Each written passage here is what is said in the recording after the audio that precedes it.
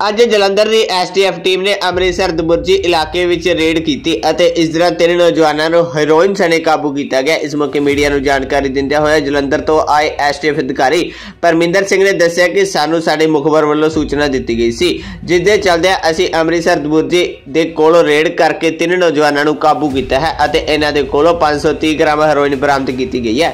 STF ਅਧਿਕਾਰੀ ਪਰਮਿੰਦਰ ਸਿੰਘ ਨੇ ਕਿਹਾ ਕਿ ਇਹਨਾਂ ਵਿੱਚੋਂ ਇੱਕ ਨੌਜਵਾਨ ਅੰਮ੍ਰਿਤਸਰ ਦੇ ਕਿਰਪਾ ਨਗਰ ਦਾ ਰਹਿਣ ਵਾਲਾ ਹੈ ਤੇ ਬਾਕੀ ਦੋ ਨੌਜਵਾਨ ਨਾਰਾਇਣਗੜ੍ਹ ਛਰੇਟਾ ਦੇ ਰਹਿਣ ਵਾਲੇ ਹਨ। ਉਹਨਾਂ ਕਿਹਾ ਕਿ ਇਹਨਾਂ ਨੂੰ ਕਾਬੂ ਕਰਕੇ ਇਹਨਾਂ ਖਿਲਾਫ ਮਾਮਲਾ ਦਰਜ ਕਰਕੇ ਅਗਲੇਰੀ ਕਾਰਵਾਈ ਸ਼ੁਰੂ ਕਰ ਦਿੱਤੀ ਗਈ ਹੈ। ਉਹਨਾਂ ਕਿਹਾ ਕਿ ਇਹ ਵੀ ਪਤਾ ਲੱਗ ਜਾਵੇਗਾ ਕਿ ਇਹ ਕਿਸ ਕੋਲੋਂ ਲੈ ਕੇ ਆਉਂਦੇ ਸਨ ਤੇ ਅੱਗੇ ਕਿਸ ਨੂੰ ਵੇਚਦੇ ਸਨ। ਇਸ ਦੇ ਨਾਲ ਹੋਰ ਕੌਣ-ਕੌਣ ਵੀ ਸ਼ਾਮਲ ਹੈ ਇਸ ਦਾ ਵੀ ਪਤਾ ਲਗਾਇਆ ਜਾ ਰਿਹਾ ਹੈ।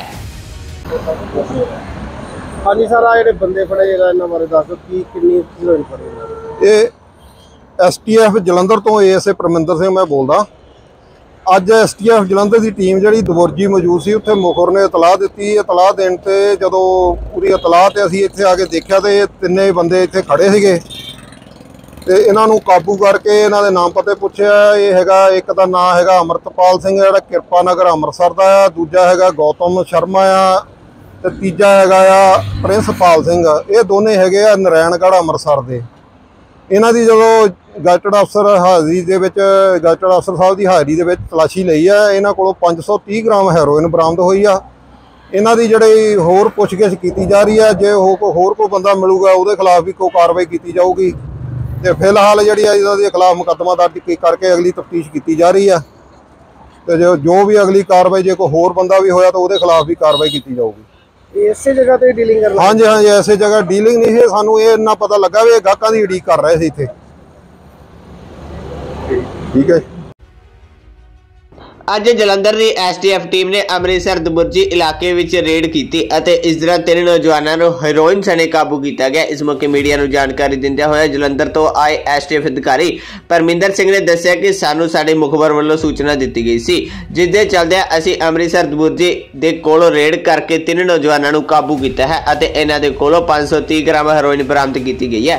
ਐਸਟੀਐਫ ਅਧਿਕਾਰੀ ਪਰਮਿੰਦਰ ਸਿੰਘ ਨੇ ਕਿਹਾ ਕਿ ਇਹਨਾਂ ਵਿੱਚੋਂ ਇੱਕ ਨੌਜਵਾਨ ਅੰਮ੍ਰਿਤਸਰ ਦੇ ਕਿਰਪਾ ਨਗਰ ਦਾ ਰਹਿਣ ਵਾਲਾ ਹੈ ਤੇ ਬਾਕੀ ਦੋ ਨੌਜਵਾਨ ਨਾਰਾਇਣਗੜ੍ਹ ਛਰੇਟਾ ਦੇ ਰਹਿਣ ਵਾਲੇ ਹਨ। ਉਹਨਾਂ ਕਿਹਾ ਕਿ ਇਹਨਾਂ ਨੂੰ ਕਾਬੂ ਕਰਕੇ ਇਹਨਾਂ ਖਿਲਾਫ ਮਾਮਲਾ ਦਰਜ ਕਰਕੇ ਅਗਲੇਰੀ ਕਾਰਵਾਈ ਸ਼ੁਰੂ ਕਰ ਦਿੱਤੀ ਗਈ ਹੈ। ਉਹਨਾਂ ਕਿਹਾ ਕਿ ਇਹ ਵੀ ਪਤਾ ਲੱਗ ਜਾਵੇਗਾ ਕਿ ਇਹ ਕਿਸ ਕੋਲੋਂ ਲੈ ਕੇ ਆਉਂਦੇ ਸਨ ਤੇ ਅੱਗੇ ਕਿਸ ਨੂੰ ਵੇਚਦੇ ਸਨ। ਇਸ ਦੇ ਨਾਲ ਹੋਰ ਕੌਣ-ਕੌਣ ਵੀ ਸ਼ਾਮਲ ਹੈ ਇਸ ਦਾ ਵੀ ਪਤਾ ਲਗਾਇਆ ਜਾ ਰਿਹਾ ਹੈ।